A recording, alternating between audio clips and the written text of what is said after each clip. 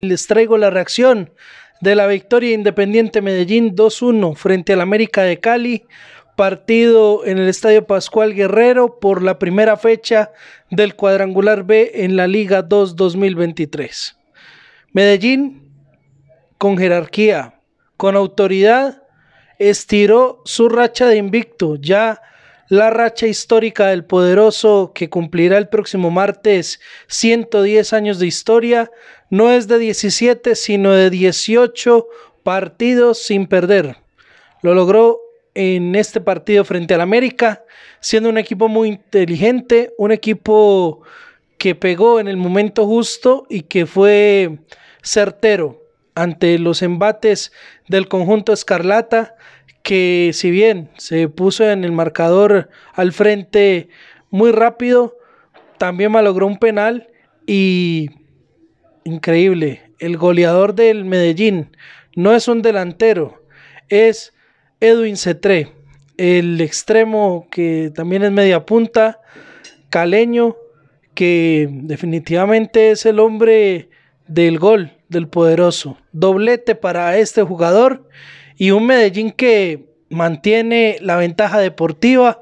Recordemos que fue el equipo que terminó en el segundo lugar de la tabla en el todos contra todos, tiene la ventaja deportiva y por eso lidera el cuadrangular B, el mal llamado grupo de la muerte.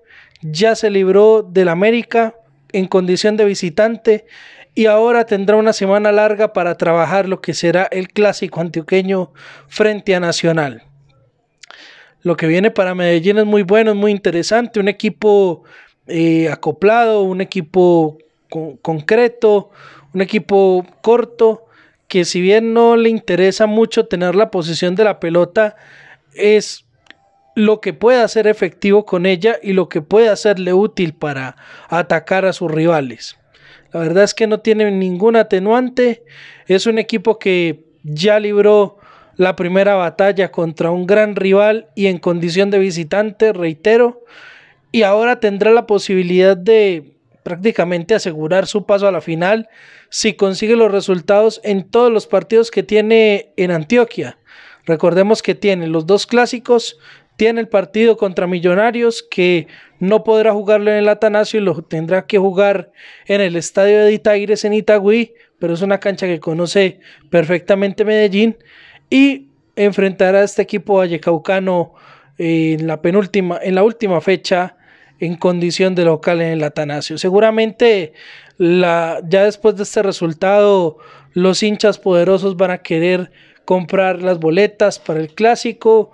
Ya hay varias localidades que están agotadas, espera un lleno y y bueno, este Medellín hay que creerle, hay que creerle porque tiene jerarquía, tiene argumentos, es un equipo que más allá de lo bien que le fue en el todos contra todos, ya está mostrando que definitivamente en finales va a ser un rival a vencer, va a ser un rival muy fuerte y un candidato firme a conseguir por fin esa séptima estrella que le ha sido esquiva desde hace ya 7, 8 años eh, perdón, seis años, 2016 eh, fue el último título, seis, siete años.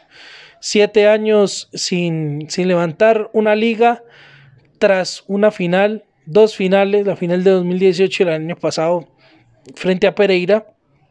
Entonces, Medellín digamos que ya tiene argumentos para sentarse a hacer uno de los protagonistas de este campeonato. Lo había mostrado, como les dije eh, anteriormente, a lo largo del semestre, pero en finales es donde hay que demostrar mucha más jerarquía, mucha más solidez. Seguramente, a priori, lo que muestra este grupo es que la pelea va a ser entre Millonarios y Medellín. Esa va a ser la pelea por quién va a la final. Veremos si le alcanza al equipo rojo, que inclusive puede darse el lujo de perder su partido en Bogotá con Millonarios, siempre y cuando gane el resto que le queda en territorio antioqueño. Y bueno, eh, de antemano darles una felicitación a toda la hinchada poderosa eh, por estos 110 años de historia roja, de pasión eh, antioqueña, un Medellín que espera soplar las velitas y que ese deseo sea conseguir la estrella 7 y bordarla en su escudo.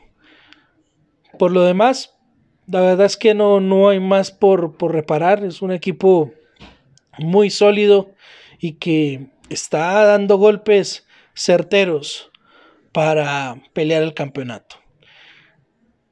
No olviden suscribirse, activar las notificaciones en mi canal de YouTube, Juancho Serrano. También eh, seguirme en mis redes sociales, arroba Juancho Serrano Raya el Piso en Twitter y en TikTok, en Instagram, arroba soy Juancho Serrano. Un abrazo para todos. Ah, bueno, no se les olvide también seguir a los clasiqueros del FBC que tienen todas las novedades del fútbol colombiano. No sin antes mandarles un abrazo grande y nos vemos en el próximo video.